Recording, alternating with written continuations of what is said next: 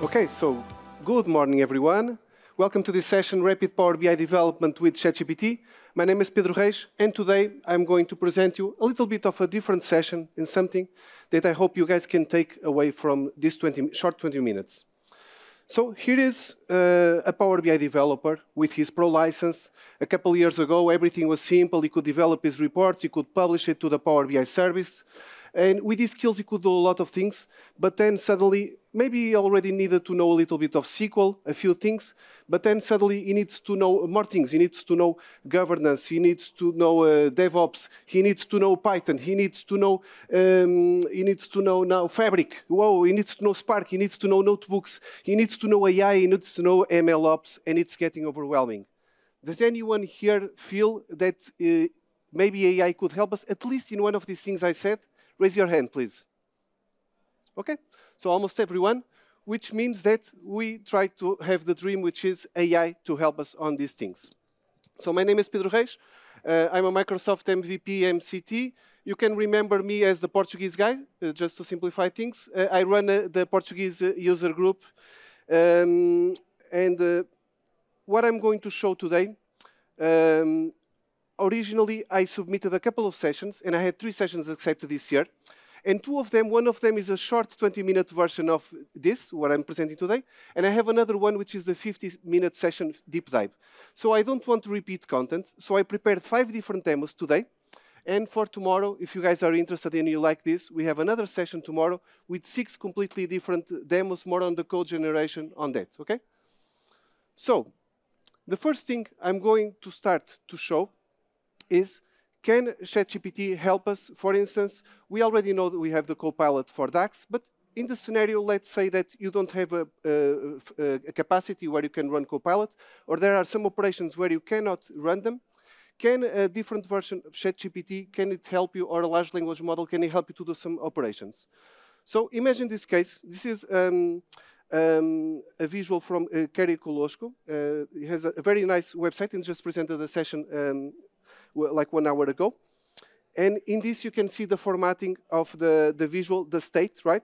And in the state, you can see here this nice formatting of the, the card, um, of the, the status. And if you go to Power BI, you usually, on the conditional format, you need to fill the entire cell. How can we do something very customized with a very custom format like this? And it's difficult to do, but if we go to um, the website of uh, Kerry, we can see here she has a very nice repo showing how to do this with SVG inside the DAX measure. And for instance, if you open one of them, we can see here that there are some samples already created and customized in order to do uh, this. So what I'm going to do is try to do from some scratch something like this with the help of uh, uh, ChatGPT. So I have here um, a demo, and I want two, for each of the countries, if my growth is over 20%, I want to do uh, a green um, button. And if it's lower than 20%, I want to do a red button. What I'm going to do is I have um, here, I have already one very basic measure. And ChatGPT, you guys will see that it works better if you already give it something working. So I picked up and created the very basic structure for a measure in DAX with SVG that can create this button, as you can see here. And of course, if I put this button uh, here, you can see, well, it's just a placeholder. It's not dynamic, right? So let's ask ChatGPT. And I have here a prompt that I'm going to get it. I'm going to show you guys. Let me go to ChatGPT. And here I'm using the plus uh, version, okay? So I'm not using the 3.5, the free version. I'm using the ChatGPT, the 4 version, in which you have multimodal capabilities, meaning that you can also paste images and do uh, many things. So my prompt is going to be, um, can you adjust the following DAX measure to return an SVG image with a pill-like button in red and the text not OK on one scenario and the text uh, OK and in green in the other scenario. And ChatGPT is going to start trying to create the code. So SVG button with text and let's see if it can return me my code. So you see it's adjusting, it's creating some variables, right? It's doing that for me with um, uh, my text to display, with the colors, and it's adjusting. So the SVG code, let's see if it worked. Let me copy the code. And if I go to Power BI, and I replace here in my demo, let me add another um, measure here. I have a, just a placeholder, a blank measure here. And if I add it, and the formula, I add something like this here. And we can see it's perfectly working directly without anything. So you guys can go like to a repo, like Kerry's repo, get the code and ask ChatGPT to iterate it and to adjust it to do something very custom like this. Another demo I want to show um, is, let me go forward. So I saw this, this is um, a demo from Jefferson Albus. He, he, does a lot of things. He adds CSS to uh, some of his reports and visualizations to really enhance the, the visualization. And so we can see here, he's going to add some variables. He has like a YouTube channel and uh, shares how to do the adjustments. And then for the image to grow or to change its characteristics with CSS on HTML. Let's see if we can actually do this. Uh, remember, I'm the Portuguese guy, so some um, uh, Cristiano Ronaldo might be somewhere in our my presentation. Yes, he's still going to play in this summer, uh, seems like, and Pep with 41 years old. So I have here two players, and this is just um, uh, the HTML light version, which is visual, the, the, only certified visual I found that uh, we can, HTML and certified, because many organizations can only use the certified visuals. So I'm going to try to, I have this uh, image here, and uh, I can change the player. What I'm going to do here, I have some kind of prompt prepared here.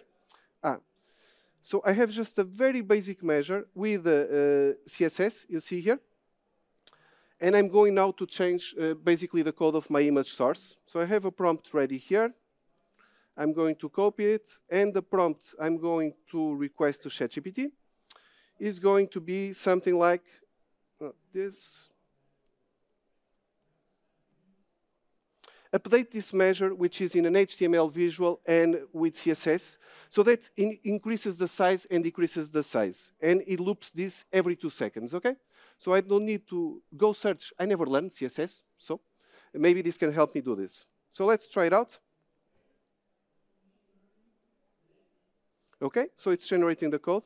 In the first demo, I'm doing the demo live, or the other ones I already put the screenshots because maybe you guys were in the keynote like Adam and Patrick said, and it takes a bit of time, in 20 minutes I want to show a lot of things. So it finalized. Let's see if it's working. It's worth the shot.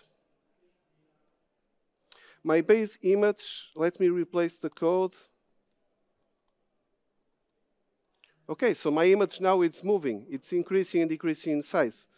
Uh, let me get now my second prompt, which is, and I can uh, be very creative with this. What I'm going to ask it, update. If it's Cristiano Ronaldo, it's going to move in a line and then return to the position. If it's Neymar, it's going just to go a little bit all, all around the place. So let's try it out, see if it can work. and it's going to replace, according to my selection in the slicer, let's see if this is going to work. You know, I'm asking something simple, but the creativity is the limit, guys. You can really try out different things. So it's creating all the CSS for me. Okay, almost there. And let's just see if it works. Almost there. Image.zig scale, you can see there, it's, even the names are intuitive. Okay, moment of truth. So I'm going to my base image, and now let me replace the code, copy paste, hope it goes well. Oh, and Cristiano Ronaldo is already moving to the right. But if it's Neymar, as expected, he's moving all around the place. So something very interesting, and you guys can give it a special touch in your uh, data visualization and in your reports, maybe with this. So, uh, second demo, I wanted, and the things I'm going to show today, I'm not going to uh, do everything that works and show you just the things that work. I'm going to show you the things I try to make it work and if it works or not. This is what I'm trying to do. So I have a data uh, model, uh, a sample that I got on the web, and I'm sabotaging this model, meaning that I'm changing like a primary key uh, to a, um, a name column, and I'm changing a data type of another column from a, a varchar to an integer. And then I'm going to uh, copy the image, and I'm also going to export the SQL script that's uh, generated here somewhere. Yeah, I can. This is a Vertabelo. This tool is just to design data models, and then you can uh, download the script which generates this. And so I'm going to. Let me go to the next slide. I'm going to prompt it um, to analyze just a screenshot because ChatGPT 4 has multimodal capabilities. Analyze this image and tell me if you find any errors on this data model, right? So, and uh, it tries to do this, but unfortunately, the image resolution was not enough. It didn't work perfectly. I tried the second time, and it actually worked and identified the two errors. So you can see on the first one, it thinks the product, um, uh, the ID is still on the product key, but it's not. I tried with the SQL, just uh, attaching the SQL script and see if it works. And uh, very clearly, the two errors were identified. So imagine you have like huge scripts and you ask to analyze for potential uh, issues um, regarding, for instance, I ask to, uh, potential issues with relationships, keys, data types, and table designs. But as more of Fabric becomes code, you can see where we are going and uh, really doing some data quality, code quality, and stuff like that. Uh, I also uh, used the VanArsdel sample, and I sabotaged the model. So I put some blanks there on an ID column, and I also uh, put some non-numeric characters in one of the columns, and I asked it, I uploaded the Excel to test the data analysis capabilities. Didn't work. The file was only 30 megabytes, but it didn't work. I tried to export the two CSVs from the two tables uh, separately. Also, uh, didn't uh, work directly. So I went to the Excel and just uh, cleaned up everything except the two tables in Excel. I imported this one, and uh, I asked it to identify any potential data quality issues. I got a response. Finally, it could process the amount of data that I gave it. And uh, on the geo sheet, the invalid entries, it clearly uh, flagged two empties. But on the outliers, it told me there are outliers, but it didn't uh, actually caught the error that I was trying to do it. So don't trust on this blindly. And when someone puts a video on YouTube, oh, ChatGPT for data analysis, I wouldn't put my hands on it. It might work, it might not work. It will work better in the future. Third use case, report design assessment. How many times? Because we don't have a very strict criteria to analyze uh, reports and see are they better than this, are they worse? Uh, how can we uh, measure, you know, the quality of a Power BI report? It's difficult. It's a lot subjective. And so, what I'm going to try to do, uh, I picked up. Um, uh, you guys know Maven Analytics. They post like uh, challenges, um, like every month, and I got one of the most recent ones, which is like an American coffee tasting test.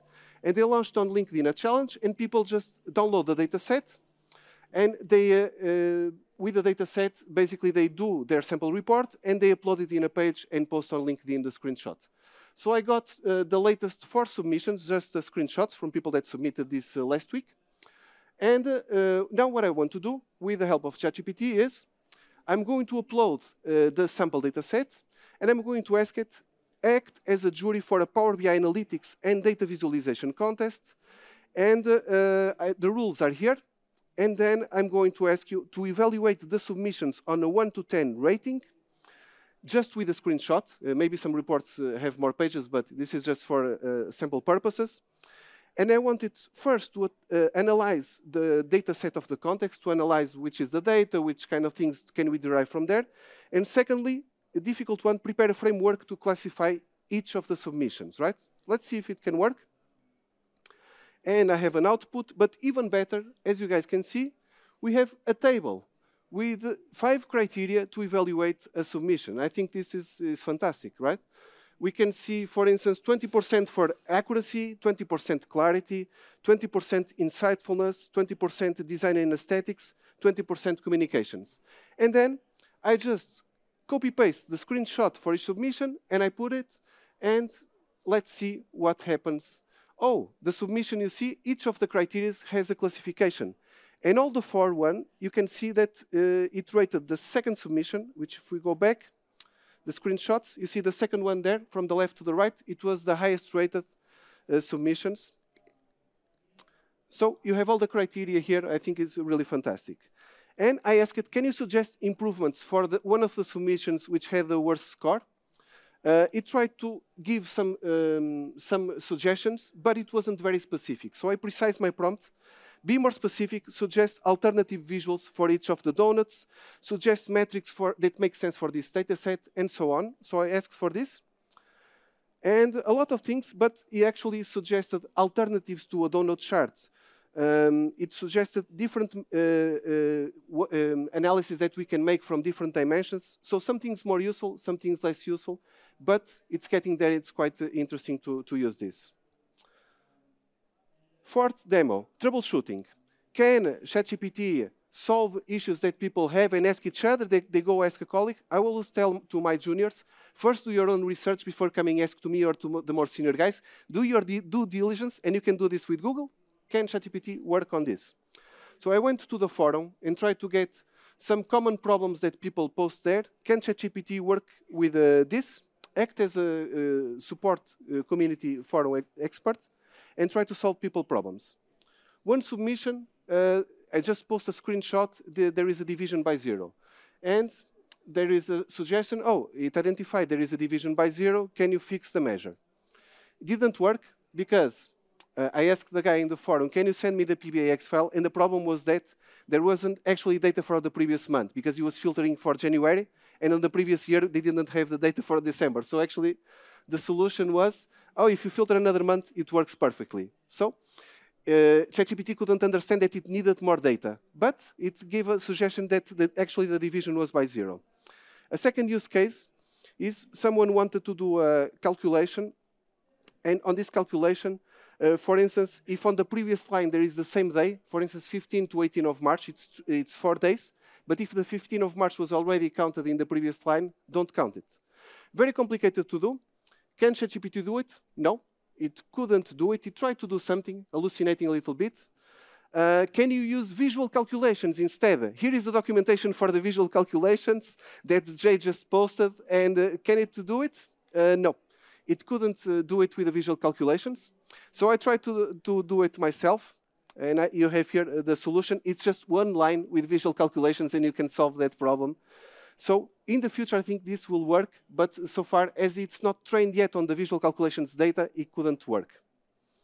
Also, common issues on databases, if you have like a big error, and you post and ask for suggestions on it, usually it will not pinpoint your error, but it will give you a thought process that you can follow. For instance, you have an error on the Impala uh, database, and you can uh, first optimize the query, ensure it's optimized, and avoid pulling unnecessary data. Seems like a good suggestion. Increase the memory allocation if needed. Adjust the timeout settings. Uh, break down the query. Suggestions like this, it's not perfect, maybe it won't give you the answer, but it will point you on an organized thought process for this. Final demo. Uh, number five, on knowledge, because we all want to improve sometimes our knowledge on a few things.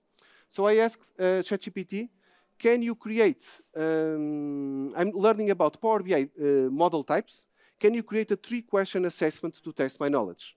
And you, here you have question one on data connectivity modes, question two on composite models, and question three on aggregation tables. It, the questions are really nice. I uh, answered B, C, C, everything okay? And it confirmed that my answers were the correct ones. Fantastic. But as we progress, what we really want to do is to be able to classify answers that are open text. This would be fantastic, right? For interviews, for our knowledge uh, approach, for educations, professors do multiple choice because it's hard to correct things that are open uh, text. So I asked it, can you produce a Word document for me with um, this assessment? And here it is, the Word document with the assessment, and I can even answer it, upload it back, and it will be corrected and give me suggestions on how to improve this. I think it, this is really great. As GPT 3.5 evolves to GPT-4, you can see that before it couldn't pass some of the exams like the LSAT, it had 40%, and now it has like 80%. So what I tested today that didn't work well, maybe on the next year I come back and it will work just fine on GPT-5. So I hope you guys enjoy this, and tomorrow we have the other session. Thanks everyone, and please provide your feedback, what you like, what you didn't like, and connect with me on LinkedIn. I hope you enjoyed this session. Thank you.